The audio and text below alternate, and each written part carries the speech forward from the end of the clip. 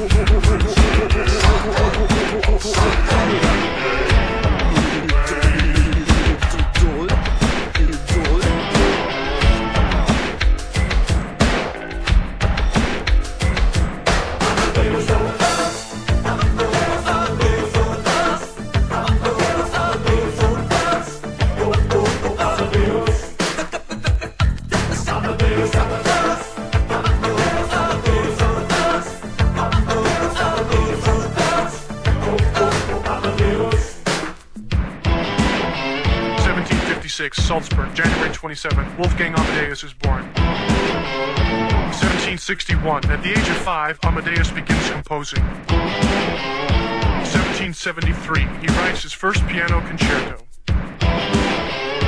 1782. Wolfgang Amadeus Mozart marries Constanze Weber. 1784. Wolfgang Amadeus Mozart becomes a Freemason.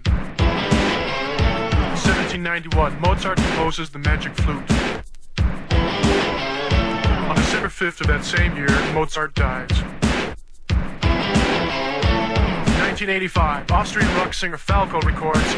Amadeus!